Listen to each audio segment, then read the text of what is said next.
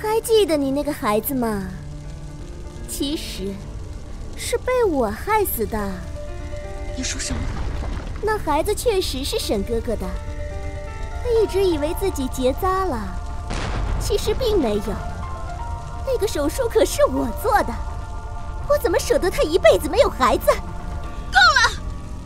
哼，我还没说完呢。知道你妈是怎么死的吗？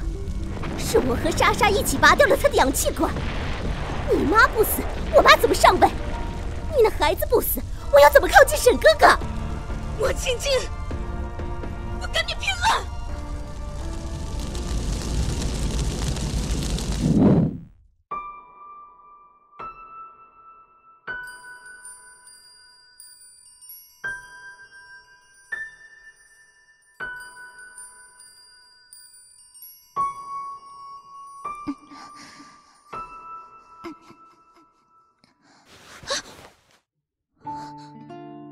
沈慕寒，我我怎么会和沈慕寒在一起？我我还没有死吗？慕寒，你爱我吗？我爱你，莎莎。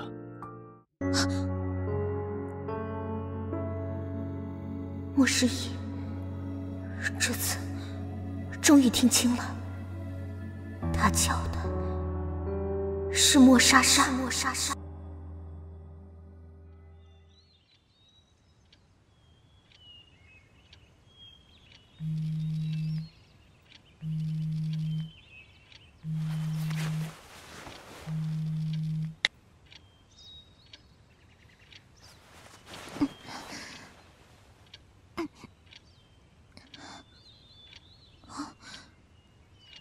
这里是莫小姐，您起了吗？时间不早了，婚礼的化妆师已经在客厅等着啦。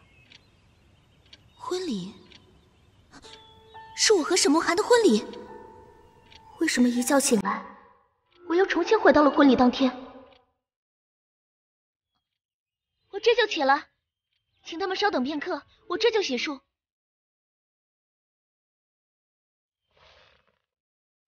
我的脸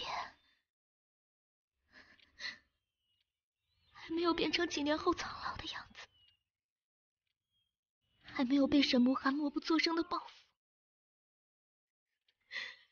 感谢老天垂怜，让我重生回到婚姻前夕，不用再日日困守在别墅里，最终凄惨死去。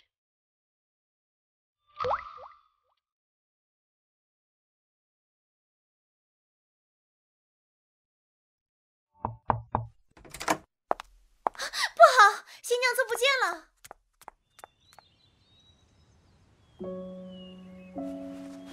妈妈，我回来了。如果我能早点回来，是不是你也可以好好活下去？可惜上天给了我一次逆天的奇迹，就很难有第二次。妈妈，你总说。人活着就有希望，可我一直在辜负你的期望，甚至不能为你报仇。